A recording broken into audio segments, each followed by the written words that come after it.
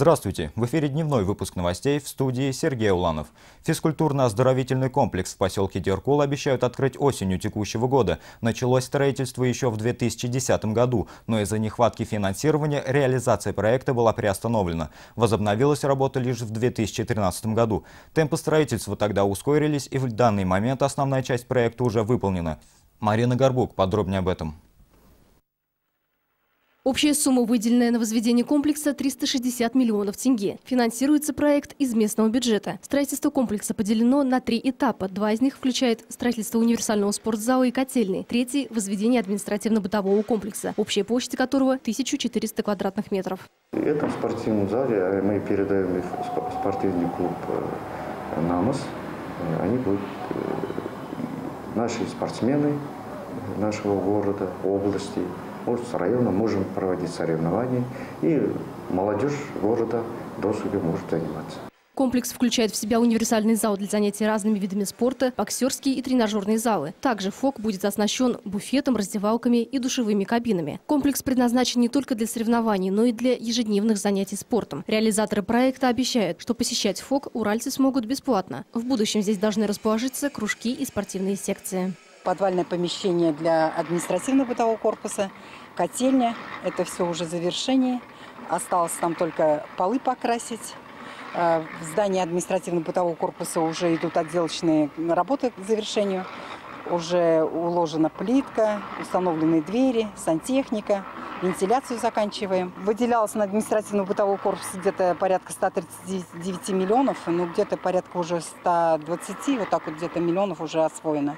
В дальнейших планах строительство Ледового дворца и стадиона. Работы по этой части начнутся не ранее 2015 года. Аналогичный комплекс планируется построить в поселке Зачаганск, который расположится на площади двух гектаров земли. На первоначальную реализацию данного проекта выделено 240 миллионов тенге. Начать строительство планируется осенью текущего года. Марина Горбук, Даурен Дусимбиев, Александр Грабарев, ТДК-42. Каждый год 3000 жителей нашего города подключаются к центральному водоснабжению. Это и есть одна из причин демонтажа питьевых колонок. Всего в нашем городе было 500 колонок. В прошлом году демонтировали 232, а в этом пока только 25. Но на этом работы по демонтажу питьевых колонок не заканчиваются. Батыс-Су Арнасы, на балансе которого они находятся, хотят свести их к минимуму. Все из-за халатного обращения жителей к воде. Запалив огороды из центральной питьевой колонки, идет перерасчет на 128 тысяч тенге. Нередкие случаи э, порчи колонок. Э, хочу на этом обратить внимание, потому что колонки прям буквально э, портят, и есть даже факты прям буквально вандализма. Поэтому нам приходится постоянно менять колонки, ремонтируют, а это происходит, допол... приводит к дополнительным затратам. В ночное время пытаются поливать э, водой свои огороды. Ну, тоже считаю, что поливать э, питьевой водой, которая проходит э, большой путь очистки, это тоже кощунственно. Поэтому необходимо бить свои колодцы для полива огородов. Поэтому э, ну, предлагаем жителям подключаться к централизованному водоснабжению, э, потому что предприятие в дальнейшем также будет продолжать демонтаж водоразборных колонок, и их количество будет сокращаться. И к концу года мы их э, значительно сократим. Пассажиры казахстанских автобусов с успехом пользуются услугой беспроводного интернета. За полгода действия проекта Wi-Fi Bus было скачано около 1 терабайта информации или 1024 гигабайт. В Уральский объем трафика составил почти 120 гигабайт. Его использовали пассажиры 8 автобусов пятого маршрута. В восьми уральских автобусах пятого маршрута теперь можно пользоваться бесплатным интернетом. Для этого достаточно лишь иметь устройство, с которого можно выйти в интернет – смартфон, планшет или ноутбук. Установить эти роутеры пока на каждую машину э, невозможно. Они питаются, э, наши машины на 24 вольта рассчитаны, они питаются от 12 вольт. Поэтому только на те машины, у которых есть преобразователи, мы поставили эти машины. Пока 8 машин пользуются. Скорость э, передачи данных у них, ну, такая приемлемая. Единственное, что она прерывается по ходу движения.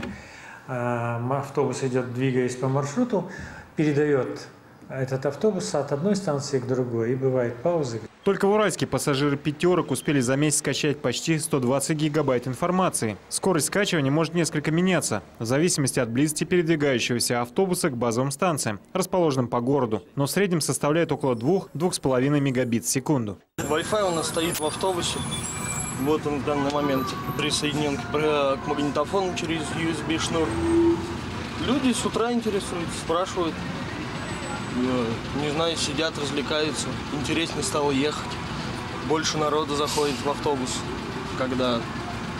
Если интереснее ехать, тогда и быстрее время проходит. Сами очень редко на это не хватает времени, потому что большую часть мы проводим только за рулем. Пассажиры уже начинают привыкать к новой услуге. К тому же маршрут «пятерки» один из самых протяженных. Один круг составляет 2 часа 15 минут. Ну, во время дороги работу можно посидеть в интернете, смотреть новости, проверить почту, пообщаться. Всегда в курсе ну, последних новостей. Всегда на связи, да? Да, очень удобно перспективе планируется организовать бесплатный доступ в интернет и в других общественных местах, цонах, расчетно-кассовых отделениях банков и вокзалах. Роман Копняев, Айбулат Джигапар, Александр Грабарев, ТДК-42. На сцене областного казахского драматического театра с 3 по 30 июля выступят районные народные театры Западно-Казахстанской области. Свои спектакли представят творческие коллективы из Сырымского, Касталовского, Тоскалинского, Женебекского, Акжаикского, Каратабинского и Шингарлауского районов. Основная цель фестиваля – развитие и преемственность традиций любительского театрального творчества, активизация театрального движения, повышение уровня режиссерско-постановочной работы и актерского мастерства коллективов, расширение репертуара народных театров. На сегодняшний день по области функционирует 128 драматических коллективов и кружков. Из них 9 коллективов имеют почетное звание «Народный». Я режиссер Жемпетинского народного театра из Сырымского района. Мы подготовили постановку «Голубое такси». В этом спектакле молодой парень, который ищет деньги на лекарства для больной матери, продает марихуану. Полицейский, который ведет его дело, оказался отцом молодого человека. Спектакль очень поучительный. Это были все новости к этому часу. До встречи в следующих выпусках.